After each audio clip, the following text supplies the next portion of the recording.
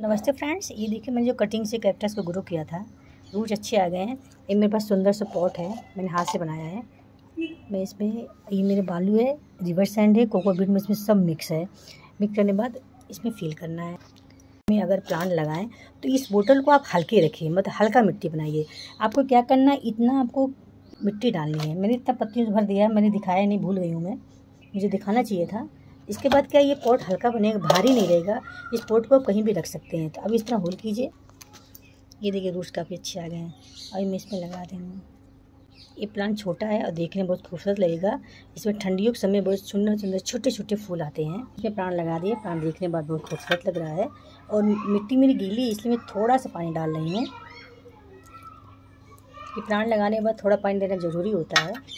अगर पसंद आए तो एक लाइक ज़रूर कीजिएगा। Thank you